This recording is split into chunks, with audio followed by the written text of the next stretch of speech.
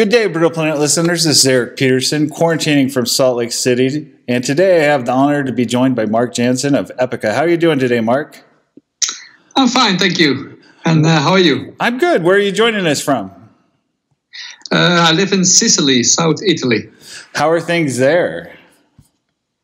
Uh, it's a bit uh, lockdown, no lockdown, and uh, some things are possible, some things are not possible some things uh, locally locked down. So it's every every day it changes, and uh, but uh, we are we're hanging in there and uh, making the best out of it. Are you getting out to do some biking at all? Oh yeah, that that's possible. Fortunately, the because during the first lockdown uh, in uh, last year, they even forbid uh, sport activities outside. Oh wow! But uh, luckily now it's uh, allowed, so I, I go to ride my bike a lot. Yes. Good, good. Well, that sounds a lot better than here. I mean, we've got the pandemic along with all the political issues, so it could be worse. You could be yeah. here. I, I've seen all about it on uh, on TV. it's crazy, isn't it? It's, it's, it looks really weird. Yeah, it's, it, if you would have t- told me this about like 20 years ago, I, I said uh, this is not going to happen. Exactly. But over the over the years, it gradually got more weird, and now this kind of explosion of weirdness. yes, exactly. Weirdness is the best word you could use for it. Yeah, but yeah, hopefully uh, not the whole year to 2021 is going to be like this. Yeah, hopefully it's not the sequel to, to 2020 no, no, no, no.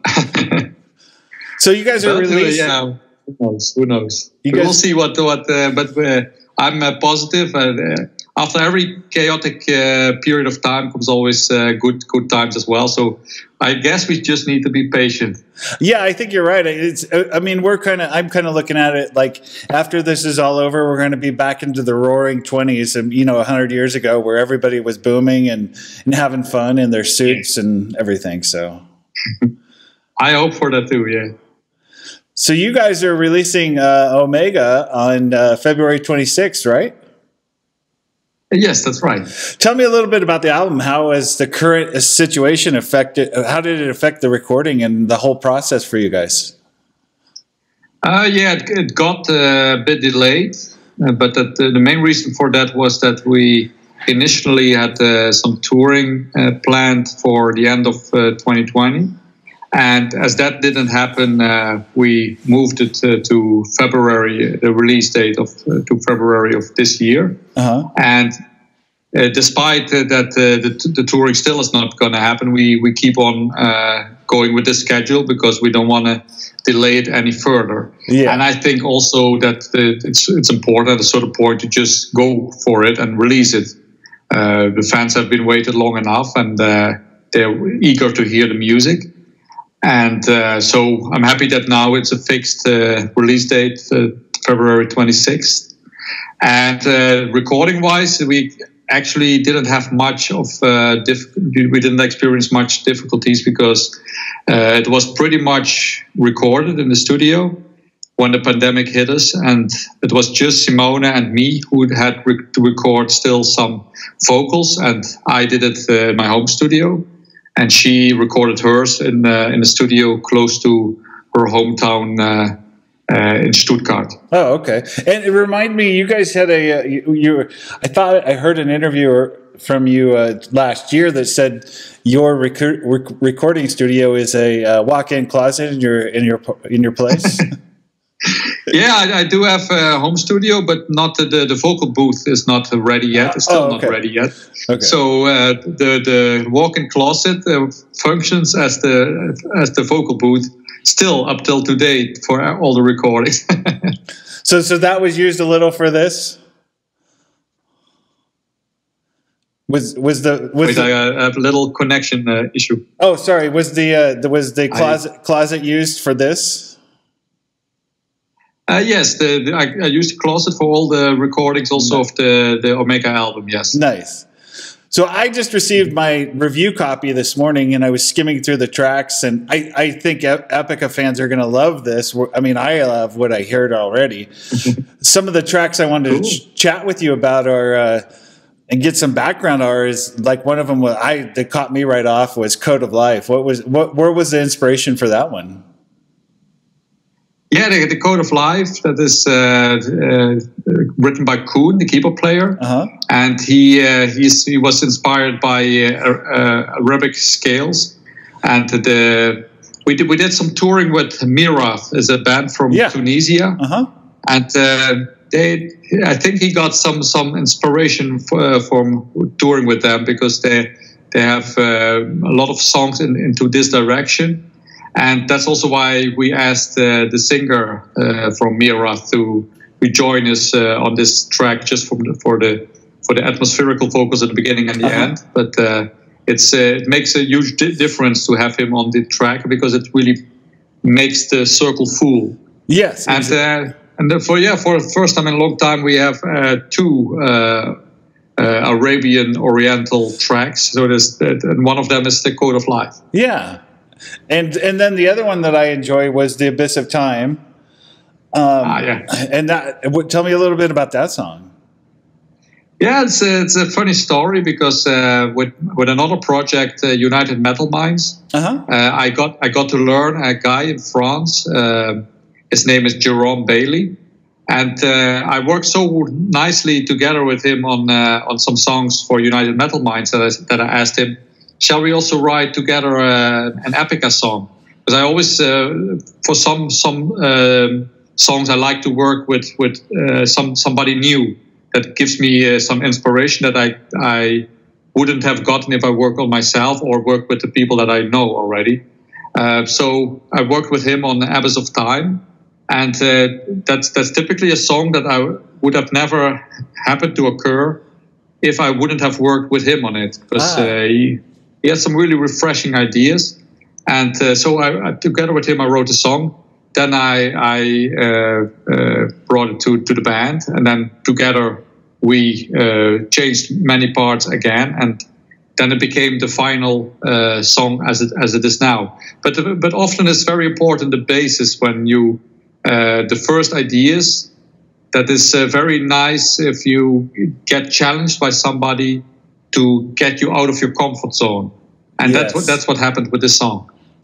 So, so being that it wasn't your comfort zone, it brought out new things that you wouldn't have ever even thought about. Then is it's kind of what you're saying. Yeah, yeah, exactly. Because I would have never written on my own a track like this, but it's it, it is typical a track that I would want to write. so yeah. that's the, the, the funny contradiction, and sometimes you need then an, an external. Uh, uh, factor, which is uh, Jerome in this case, uh, to to yeah to trigger and challenge you and also come up with great ideas like he did. So going back to Code of Life, you know, working with the Myrath guys, did that did that same kind of a thing happen with the with using them as in the recording?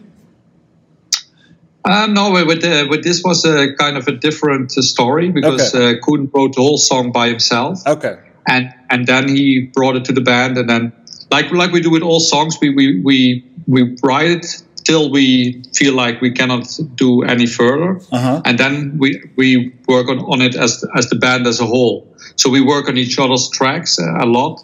And and that's what makes the the songs always eventually much better than we could have done that by ourselves. That's why it's so important to have that that period of time where we work on each other's tracks as a, as a as a band. Yeah, and uh, yeah, and that's so he he wrote the whole song by himself, and then together we we finished it. Nice. And then the last one I wanted to to mention was uh, the Synergize. That's a that song. Oh man, that's a great song.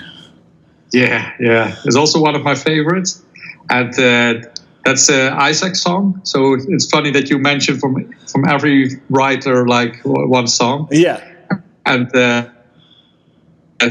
but that's a good sign because that uh, that shows that uh, that how how yeah how uh, happy we can be that we have so many good songwriters in, in one band. Yeah, and yeah. Um, yeah, he came up with that track, and uh, right away we felt like, oh, this is going to be an album track. Uh, so it it's the same like what what what happened with the Coen song. Isaac worked on like the the, the, the track by himself, and then uh-huh. brought it to to the band Okay. And we finished it together. Oh, okay. So I know all the tracks on the album are probably somewhat your baby and you're really proud of all of them, but are there any that stand out to you that more than others for one reason or another?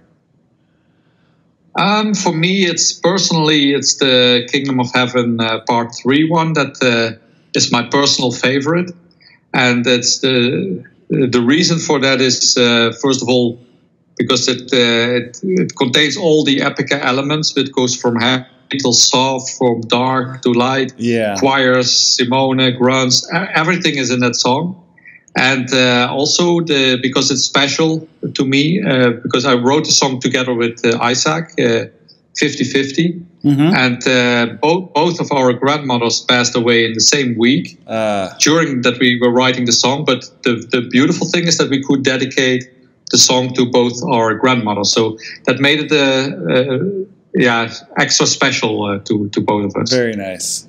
So the are there any tracks that when we finally are able to get back out and see live shows that you're looking forward to playing live?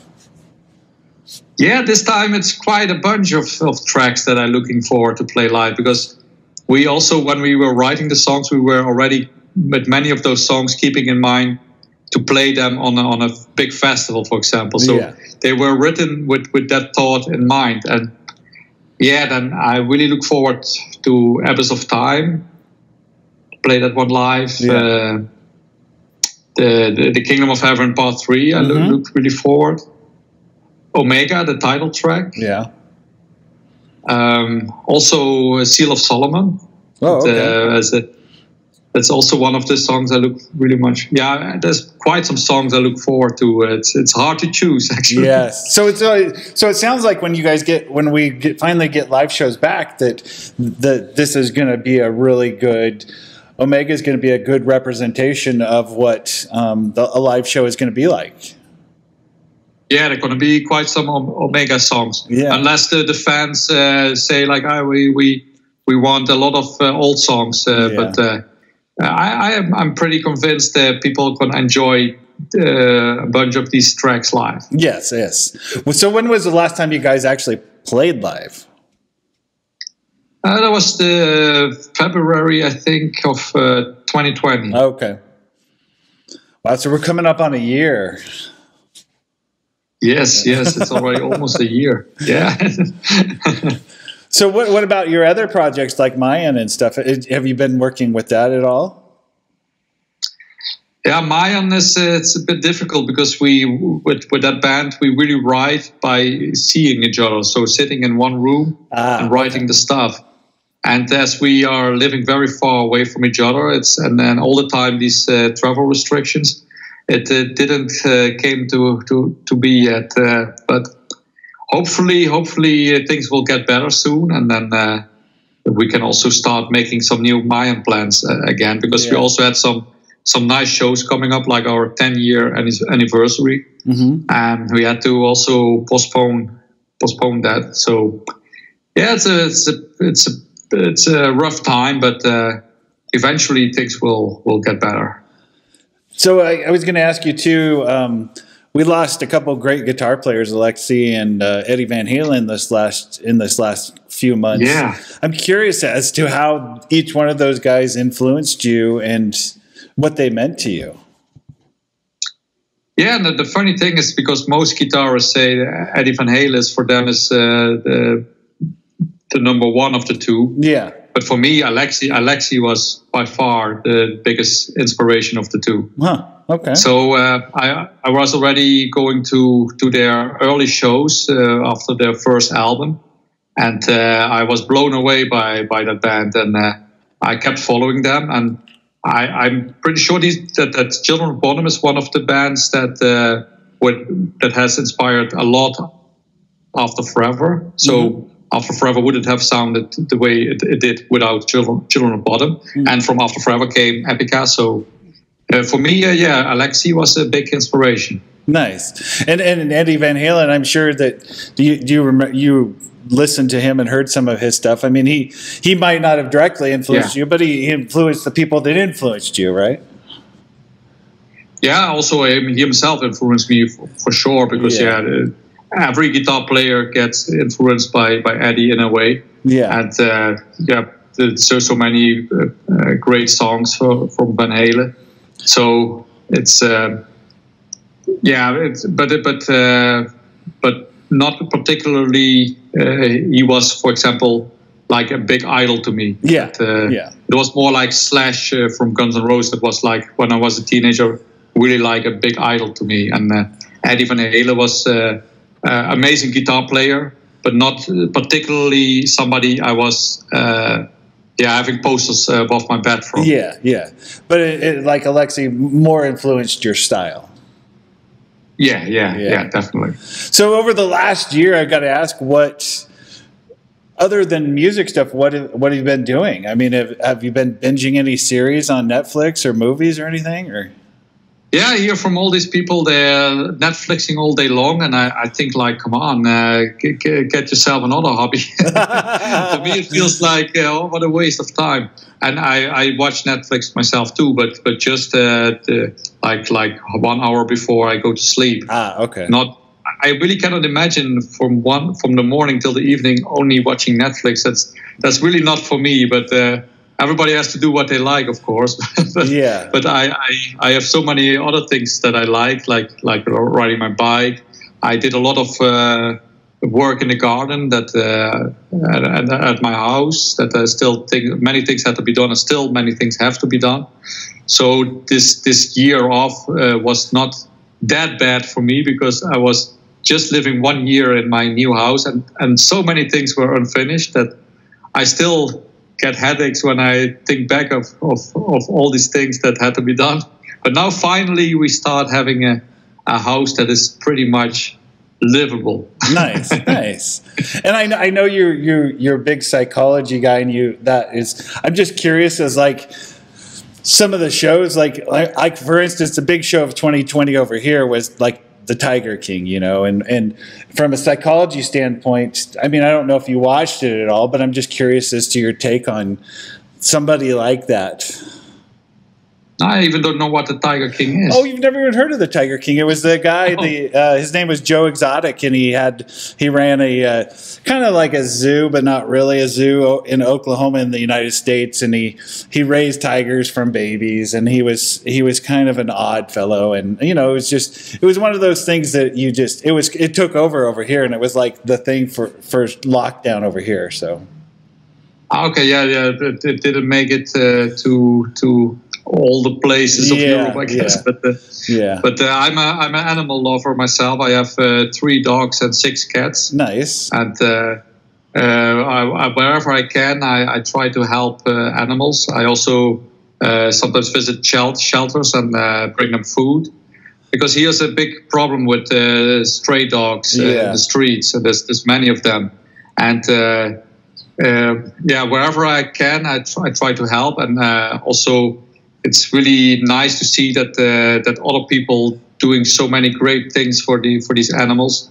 That um, yeah, it's it's really a, a big problem, but but really it makes you also feel happy when you can help a few of them. Yes, yes, and it's it's funny you mentioned dogs and cats because I. I, I train I've trained dogs for over 20 years and I it's oh. from a psychology standpoint I find it very interesting how people don't understand dogs or cats and they try to treat them like humans. Yeah, I never understand that either. and also put them clothes on and yeah, stuff. And yeah, I, yeah. I never get that. Yeah. I get it when it's very cold in certain certain certain regions. Yeah. And to put that dog a kind of a dog jacket, that I completely understand. But but not dressing them like humans uh, or, or treating them like humans. Dogs are dogs, and dogs have dog qualities, and cats are cats, and have that cat qualities. Exactly. Dogs and cats already very different, and let alone humans and dogs and humans yeah. and cats. Yeah, I, I, I always have like this conversation with people, and I tell them, I say, you and I are talking. Do you think your dog understands when you're talking to it? You're just diminishing your your voice by having this conversation with your dog. yeah, indeed. my, my, actually, my girlfriend is, is talking a lot to the cats. Oh, is but, she? Okay.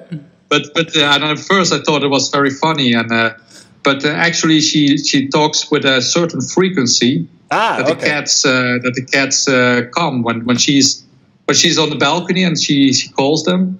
They are really coming. Nice, nice. And I, I always thought that the cats don't listen to to when you call them, but but she found a way that they do. Good for her. Good for her. Yeah. So I was going to ask you too. What do you think? I mean, with everything that's gone on in the music industry this year, has do you think that for, it's forever been changed, or do you think we'll get back to some semblance of normal eventually? Yeah, it's a that's a tough question because uh, uh, the longer it takes, the more I start doubting if if we ever get uh, these big festivals again. Because yeah, um, yeah it, it, seems that uh, that, that this is going to take a long time, and uh, the people in charge they're also talking in a bit in a way that that that discomfort me a bit that like that we will never go completely back to the old normal but we have to adapt to the new situation. Mm-hmm. and then i think like what what things are going to be like it used to be and what things are going to change forever. And i hope that festivals are not one of these things that are, are never going to happen again. That would make me very sad. Yeah yeah. I mean, but what about like what do you think about like like mosh pits and stuff like that? I mean, do you think we've we've altered that so much because of our fear of of what's out there? Yeah, that's also hard to tell. I, I think uh, as soon as there are festivals, pretty much soon after there will be also mosh pits again. But it also depends on on the rules and regulations at yeah. that time. Yeah. For example, they let people in in, in small groups of, of, of, people and, and in, in separate uh, sections, yeah, all that kind of stuff, then then mosh pits are are passe because then it, it simply cannot cannot be done anymore. Yeah. But uh, that's that's uh, yeah it's like uh, predicting the future. It's very hard to tell. Because I, th- I think for me, one of my memories of, of, of an Epica show is is going to the show and you know the you guys dividing the crowd in half and you know and then all of a sudden everybody comes together and it's it's it's, it's just a fun fun atmosphere. And Yeah. I think is that changed? I really hope not. Yeah, I really hope not as well. And uh, if you ask me personally, I I, I see uh, festivals returning and and and uh, yeah, experiencing a show the way it was. Yeah. But it, it depends all on, on people that make rules, and Yep. if they, for whatever reason, uh, say it, it's never allowed anymore, yeah, what what can we do? Uh, exactly. it's yeah, it's uh, it's hard to tell. But Yeah. But personally, I really hope that uh, we we can uh, experience this uh, show uh, the way it was before. I'm with you on that one. So Cool. my my last question for you is, I'd like I've been asking this question for almost a year now. Um, tell me a song by Epica, by title or by content, that best describes the state of the world today. Oh, the state of the world. uh, um, let's see. The obsessive devotion. Okay, that's a, that was that's a good one. I like that.